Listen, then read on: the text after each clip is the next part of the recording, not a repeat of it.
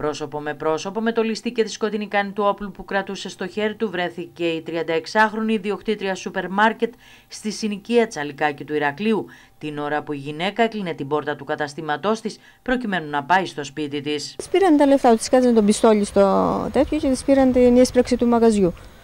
Τώρα είμαστε όλοι τρομοκρατημένοι γιατί αστυνόμευση δεν έχουμε καθόλου εδώ πέρα. Η ώρα ήταν περασμένες 9 και η 36χρονη έφυγε από την πίσω πόρτα του σούπερ μάρκετ προκειμένου να πάει στο σπίτι της που συνδέεται με το κατάστημα.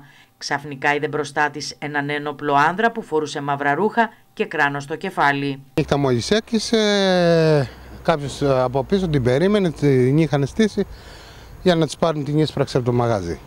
Μπροστά στη θέα του όπλου, η γυναίκα μαρμάρωσε από τον δρόμο. Ο ληστής, μιλώντας καθαρά ελληνικά, τη ζήτησε επιτακτικά να του δώσει τα χρήματα, λέγοντάς της κοφτά: Δεν θέλω τίποτα άλλο, μόνο τα λεφτά. Το κλείσιμο του μαγαζιού δίπλα ε, και ενώ κλείδωνε την πόρτα ε, η κοπελιά, σταμάτησε, σταμάτησε ένα μηχανάκι μεσαίου κυβισμού από ό,τι μας είπανε.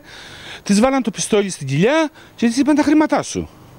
Θα μπορούσε να αντιδρούσε, φαντάζομαι, να γίνει και ε, εκεί, εκεί, δεν, εκεί δεν αντιδράσει, δυστυχώς. Δεν αντιδράσει. Γιατί αν αντιδράσεις, θα τη βλέπαμε στο στυλ απέναντι. Την κοπελιά έχει αμαρτία γιατί είναι μικρή ακόμα. Ο ληστής, αφού πήρε τα χρήματα που του έδωσε η γυναίκα, περίπου 700 ευρώ, έφυγε τρέχοντας. Λίγα μέτρα παραδίπλα τον περίμενε ο συνεργός του με μια μηχανή και χάθηκαν στο σκοτάδι. Ε, ο δρόμος είναι ανεπαρκής, δεν έχει φώτιση, δεν έχει φως καθόλου.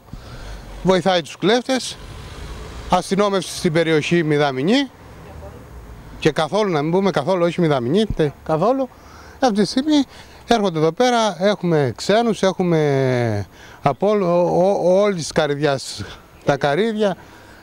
Ε, αυτή τη στιγμή και έγινε το συμβάν. Α, ας ελπίσουμε τουλάχιστον να είναι το τελευταίο. Οι κάτοικοι της περιοχής είναι ανάστατοι από το περιστατικό, καθώς όπως λένε δεν είναι το μοναδικό. Η περιοχή όπως λένε δεν αστυνομεύεται σωστά, με αποτέλεσμα συχνά πυκνά να πέφτουν θύματα κλοπών και διαρρήξεων. Φοβάσαι για τη ζωή σου πλέον εδώ πέρα.